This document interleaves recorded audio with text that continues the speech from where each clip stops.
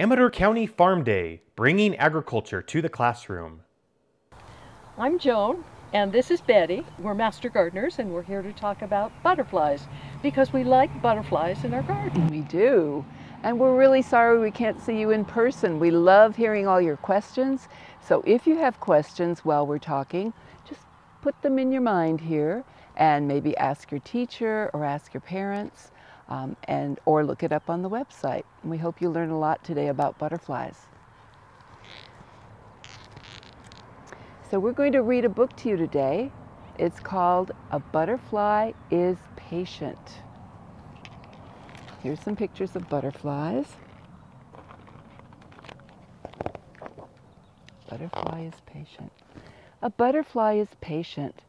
It begins as an egg beneath an umbrella of leaves, protected from rain, hidden from creatures that might harm it, until the caterpillar inside chews free from its egg casing, tiny, wingless, hungry to grow. This is a picture of the blue eggs of the painted lady. She laid them in at the fair in our cage. Now a mother, mother butterfly chooses the leaf for her babies very carefully because she knows they're going to be very hungry when they come out and they're very fussy eaters. You have to be quite careful of what plants you have in your garden to encourage the butterflies. Are you fussy eaters, any of you? Oh, I'll bet there are a couple of them. There usually are. a butterfly is creative. A caterpillar feeds on leaves, eating so much that it must molt or shed its skin many times. It can grow up to 30,000 times larger than it was when it took its very first bite. Now you have a skeleton inside your body. It has bones that grow, and you have a skin on the outside, that, and it grows too. However, the poor caterpillar has an exoskeleton that's on the outside, and it does not grow. So that's why the caterpillar has to molt to get to be a bigger size. And when it does, it must be rather like trying to get out of a t-shirt that you've outgrown. Once a caterpillar has eaten all that it needs, it creates a protective covering called a chrysalis. Curled inside the chrysalis, it is growing wings. Now it is time for metamorphosis, changing from one form to another.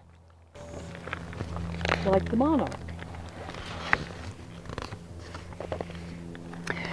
A butterfly is helpful. Butterflies, like bees, help pollinate plants so that they can reproduce or make seeds. As a butterfly flits from flower to flower, sipping nectar, tiny grains of pollen cling to its body and then fall away onto other flowers.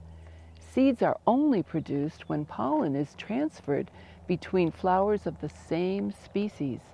This is called pollination. Can you see the yellow pollen that's right on this butterfly there? This is one of the reasons why we like butterflies in our garden. They help things grow. A butterfly is protective. Butterflies use their wings to protect themselves from predators such as hungry birds, lizards, and other insects. Some butterflies have markings on their wings called eye spots. Scientists don't know what they're used for, perhaps to scare away predators or attract mates. This is the owl butterfly. Can you see? Does that look like an owl to you? Let me flip it over and show you upside down, and it really does look like an owl.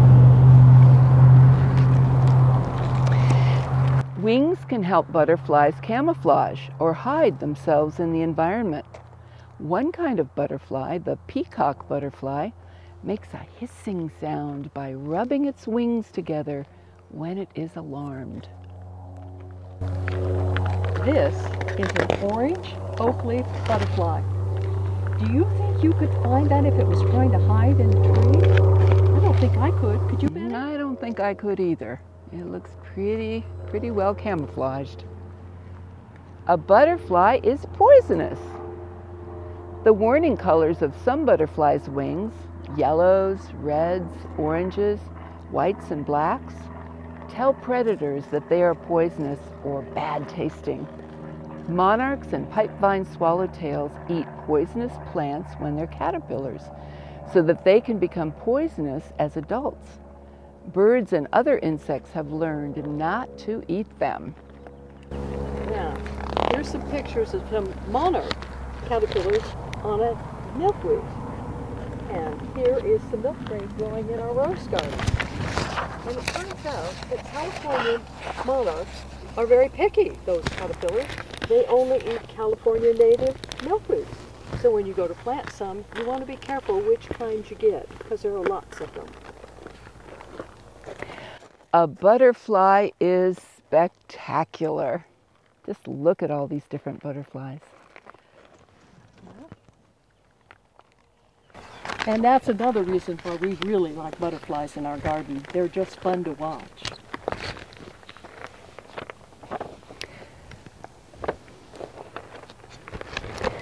Do you know what the California state insect is, boys and girls?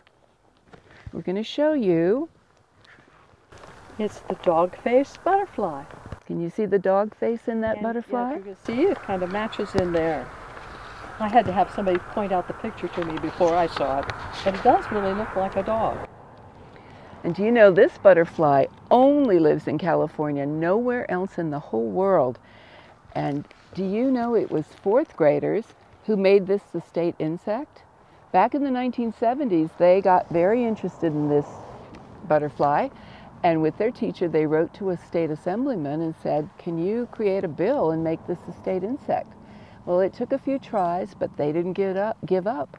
And in 1972, the dog-faced butterfly was named the California state insect.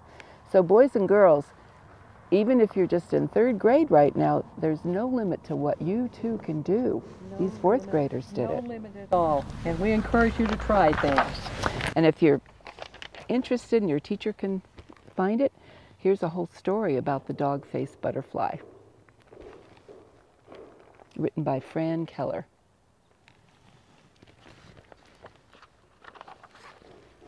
A butterfly is thirsty. To find flowers, butterflies smell the air with their antennae, they taste with their feet, but they sip nectar, the sweet liquid produced by many flowers, with a proboscis, a tongue that coils and uncoils. And did you know that butterflies are nearsighted? That means they can see things that are close to them. But far away, things are kind of fuzzy. So if you were planting a garden, would you stick just one flower in the garden? Nah. You could put a bunch of them, and that would be a little better. But maybe some great big bright ones. And these have a nice flat place for the butterfly to land. Some butterflies get their nourishment from rotting fruit, the blue morpho, or minerals. Often a kaleidoscope of butterflies gathers as a puddle club in mud near a pond or a lake to drink water rich in salts and minerals. I think we should try making a puddle a little later, don't you? That would be great. I need one in my Well, Let me tell you about what the butterfly lady told us when we had some butterflies at the fair. She said you feed them with watermelon. It's got water, lots of it, and sugars, which gives energy, and minerals. Hmm. And the butterflies, of course, loved it. They did. They did. A butterfly is big. The rare Queen Alexandra's birdwing is the largest butterfly in the world with wings that can span up to one foot. It lives in the rainforest in northern Papua New Guinea. Now we don't have any, but you can see why they called it birdwing. Doesn't that look like quite a fierce-looking bird? You wouldn't want to attack that, especially when it was a foot big. It looks like an eagle. It does. It's quite amazing. A butterfly is tiny. The smallest is the rarely seen Aryan small blue found in Afghanistan with a wingspan of less than one third of an inch, about the length of a grain of rice. Tiny. We don't have any of those, and that, there it is, but we do have a skipper, a checkered skipper, and it's about an inch big. It looks like that. Only that's of course bigger. A butterfly is scaly. A rainbow of shiny, powdery scales covers the wings of a butterfly, scales stacked like shingles on a roof. Without scales, its wings would be as transparent as the wings of a bee or a dragonfly. This is a picture from an electron microscope, magnified thousands of times. And they do look like shingles, but more colorful. Beautiful. I'd love shingles like that on my house. The colors, patterns, and shapes of a butterfly's wings have a purpose.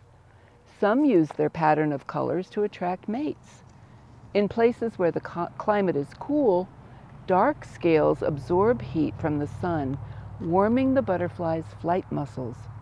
Butterflies are cold-blooded and they must have a body temperature of 86 degrees Fahrenheit to be able to fly. Remember our orange oak leaf butterfly? Well, it's dark, and that is to keep it warm, but it's much easier to identify when it opens up its wings. Isn't that impressive? A butterfly is not a moth.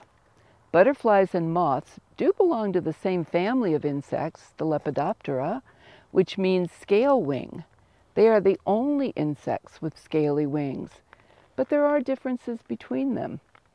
Moths appeared on Earth between 100 and 190 million years ago.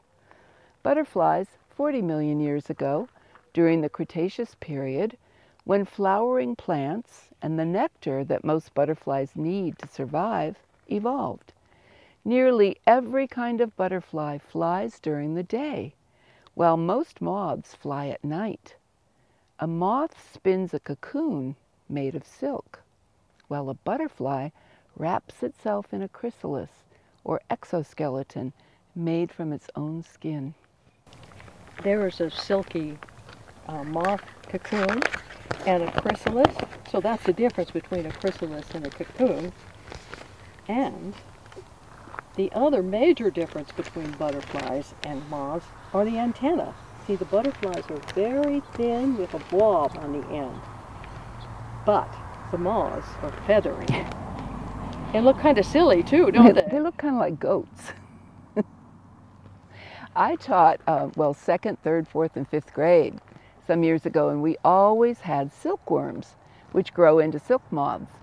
And it was fascinating because when you were talking about how important it is to know what different caterpillars eat, the silkworms would only eat mulberry leaves. And one day one of my students brought in some leaves that looked just like mulberry leaves, but the silkworm moths wouldn't, silkworms at that point would not touch them. They turned up their nose and they said, nope, we want mulberries. Another so, reason for you to be careful of what you plant in your garden if you're expecting something to conjoin you. Exactly. A butterfly is a traveler. Most butterflies, such as the red admiral or the common buckeye, migrate a short distance to find a warmer place. But some, like the monarch, travel far. Although monarchs weigh only as much as a few rose petals, they can fly almost 3,000 miles from Canada to their winter home in Mexico at a rate of 20 miles an hour. Glider pilots have reported seeing monarchs flying at an altitude of 11,000 feet. That's higher than some clouds. Amazing. Now the book talks about eastern monarchs, which go from Canada to Mexico and back again. However, we're California, and we've got something different. They go from about the Rocky Mountains to the west coast, and then they winter on the west coast where it's much more mild. A butterfly is magical. Monarchs gather in huge numbers in the forests of central Mexico, waiting for spring. Then they fly north to the milkweed plants in North America, where they lay their eggs. Now it is time again for their metamorphosis. Do you remember what metamorphosis is, boys and girls? Now, we're lucky here in California because they gather in big places on the coast. And one place is Pacific Grove, where they come most every year. Mm. And if you're like Kevin, you might even have one of the butterflies land on you for an up close and personal visit.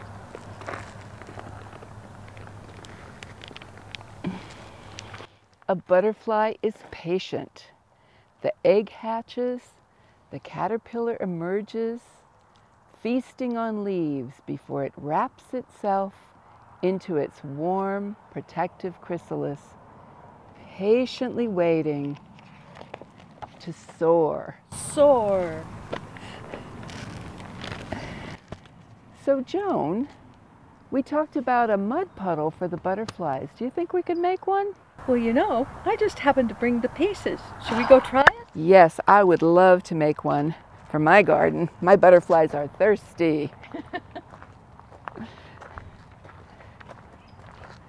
Okay. Do you know how we start? No, tell me. Well, you need a container. Something without a hole in the bottom. Why no hole? Well, we're trying to collect water so that the butterflies can drink. So we need something that'll actually contain the water. Can it be any container? Pretty much, you probably don't want it too deep because you'd have a lot of material there.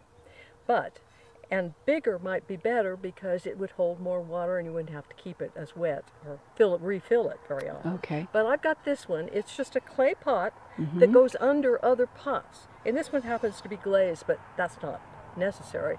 But it should help it hold water at this point. So we just pour water into it and we're done? No, no, we actually make a puddle because we want that Oh, mud okay. because that's where they get the, the um, minerals, remember? Yes. Okay? Okay, so where, how do we start?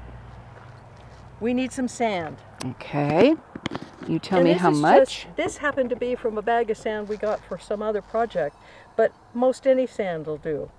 Tell me about how much. Uh, well, I'm thinking that maybe a quarter of the way up. This is the reservoir. This is going to hold the water that sinks through our mud and so forth, Is that and enough? keeps the water so that when the soil does dry out, it can wick back up from this. Oh. So what goes on it next? Ah, the important part soil or dirt. And this is just some that Lynn, my husband, just dug up for me, and it's quite sandy, which will Oh. do just fine. Okay. And but if you have clay soil, that'll work too. It's got lots of minerals in it. But there's one thing you want to be careful of. Do you know what that might be? Mm, is it something that shouldn't have herbicides and pesticides in it? Exactly. Okay. Because that could really poison the butterflies, right? Exactly. Okay. So you want to make sure your soil is safe. Okay. Now, how much soil do you put in from that? Well, I've got an ant. um, that's probably the main part. so we'll fill it up pretty well. Okay. And we're building layers so that Okay, the water we're not mixing it. We're no, just we're there's a little ant, it. but I guess the ant can. Okay. More? Yep. Let's. Oh.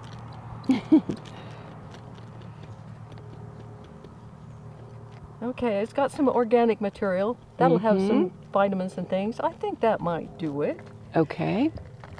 If the All pot's a little deeper, you can have a little. Whoops, we do have ants. Um, we can have extra so that it'll hold a little more water, but we have to be a little careful Okay. because butterflies are light. Now, do we pour water onto it now? No, no, we need one more thing. Hmm. Butterflies are very light and they can't swim. They could drown. Oh, So we need to make a landing spot. A landing spot for them. Okay. That sounds good. So some gravel. Now it can be pretty much any size, and in fact, we could even use a big rock in the middle. That's like a landing pad But for the butterflies. this might be your artistic bed, but you can use bigger rocks. You just want to make sure that the water can get um, between it, so that Ants are having a good time. so that um, the water can come up and the butterfly can actually get to it. Okay.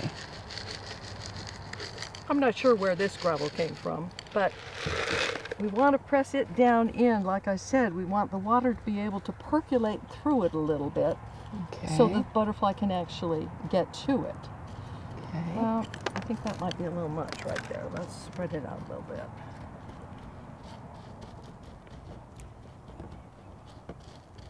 Okay. and then And then a little landing pad. Okay. Okay. And now I'm guessing the only thing left is the water. Exactly. But since water's kind of messy, we probably ought to put it in the garden first and then water it. Okay. So shall we? I've I'll bring the water. Yeah. I think we've got it over by the milkweed. We- We're going to pick a spot for to put it that's in the sunshine and near what the butterfly might be looking for. Flowers for nectar, Milkweed to eat. milkweed to eat, lay eggs. And if you turn a pot upside down and put it in the garden and then put it on top, It's garden art. garden art. It's beautiful. So now I can pour water onto now it? you can pour water on it. Okay. When we actually had kids, they really enjoyed pouring the water on it. But now that water will soak into the mud, And look and at the it mud soak. will leach. Well, the mud, vitamins and minerals will leach out of the soil, and when the butterfly drinks, it'll have a very nutritious I'll drink. put some right on here too. So Now, what do you suppose the catch is with all this? Well, I'm already seeing the water going right down into the soil and the sand, so I'm wondering if you have to water it pretty often. Yes, because we've got Okay. hot weather and it's going to evaporate pretty quickly. Right. It's already gone down, so I'm going to add a little bit more. So if you've got a sprinkler near it and that can feed it, that's good. Oops. But you'll want to pay attention at first to see if it's staying. So, boys and girls, we hope you will build your own little butterfly mud puddle. The butterflies will be able to get in there and get their nutrients, minerals, some water, and you'll have butterflies in your garden. And if you plant lots of different plants, bright flowers, you may have lots of butterflies as well as some caterpillars. Yeah. Thank you. Thank you for being such a great audience, and hope we see you in person sometime soon. Bye. Bye bye. Amador County Farm Day is brought to you by the University of California Division of Agriculture and Natural Resources 4-H program, the Amador County Farm Bureau, the City of Plymouth, the Amador Resource Conservation District, Charles Spinetta Winery and Vineyard, Tumbas Vineyards, C.G. Di Arie Vineyard and Winery, Cooper Vineyards, Sierra Pacific Industries, and your local farmers, ranchers, foresters, and agricultural professionals. Be sure to subscribe to our YouTube channel for more educational videos.